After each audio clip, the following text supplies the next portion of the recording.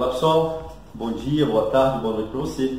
Está tudo bem por aqui e espero que esteja tudo bem por aí. Hoje eu estou com um trabalho teoricamente simples para fazer nessa casa, né? Não é cliente, é mais que amigo. Então nós vamos fazer essa parte, essa parede aqui. Daqui para cá será um closet, daqui para cá continua um quarto. Ele é bem grande, bem espaçoso. A área livre dele é 5,50 de profundidade por 4 de largura livre. Então desse lado vai ser feito o closet. Nós vamos fazer uma parede nesse pedaço aqui. Vai ficar um closet de 4 de profundidade, né? A entrada vai ser ali. Então vai ficar com 4 de profundidade por 1,40 de largura. Vai ficar um belo closet. Então eu vou mostrar para vocês como é simples fazer essa parede. Né? Ponto de ancoragem, aonde ela é embutida, tudo direitinho, né? o traço de massa, a quantidade de tijolo, para vocês aí ter noção, de repente, te auxiliar aí, te ajudar para você mesmo fazer na sua casa. Não é um trabalho complicado para fazer não, viu gente? É só seguir aí prumo, alinhamento, traço, traço de massa, a, a base de ancoragem, né? Muito importante. Então vou passar tudo para vocês. Fiquem todos atentos. Estou muito feliz com a sua presença aqui no canal. Vem com as Zés? Vamos para cima. Aqui nessa cava, amigos, ó, essa cava que nós fizemos, onde vai ser embutido os tijolos, ó, ou pelo menos a massa, né? Isso aqui serve para esse tipo de travamento, para não ir para lateral. Sabemos que toda a estrutura ela trabalha, então temos que fazer essa cava aí. E nessa mesma cava vai ser passado aí os pontos de ancoragem, né? Onde a gente vai colocar os ferros, né? Os ferros para ancoragem. Essa cava para travamento. Tá aqui, amigos, ó, a importância da cava que é feita na parede. Aquilo que eu falei lá no começo, isso aqui impede da parede jogar, jogar para lá e jogar para cá. Beleza?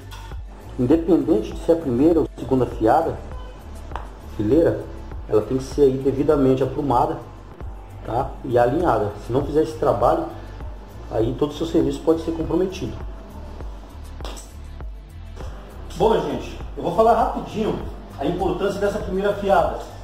Eu já cansei de ver vídeos do pessoal fazendo as cabeceiras, aqui onde está definida a sua parede, antes de fazer essa primeira fiada.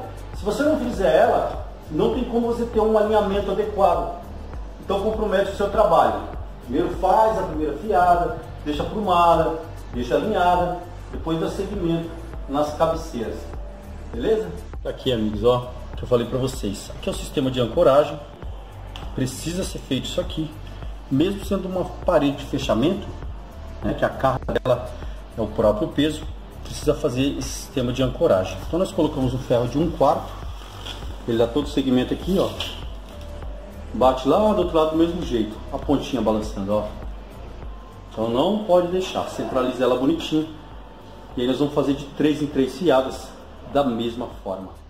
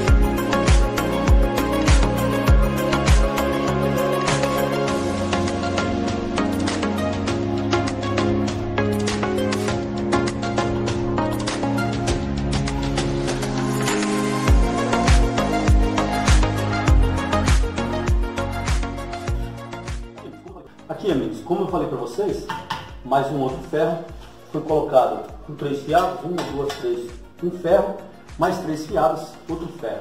Eu vou levar até em cima dessa forma, porque eu tenho 4 metros linear, né? É, para ter uma, uma segurança bacana nessa parede. Um pilar não precisa, que é só um, uma parede de fechamento, né? Closet e a parede.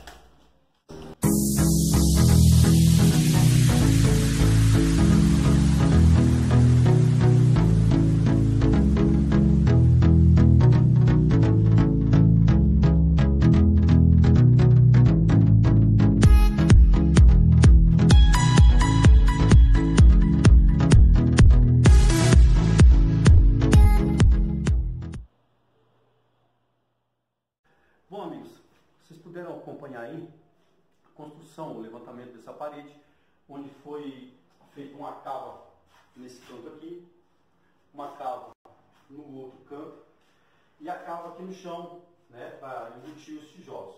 Vocês acompanharam também de três em três fiadas aqui, ó, uma barra de ferro, né, um vergalhão de ferro para amarração, né, foi feita a ancoragem e a amarração na parede. Fiquem todos com Deus.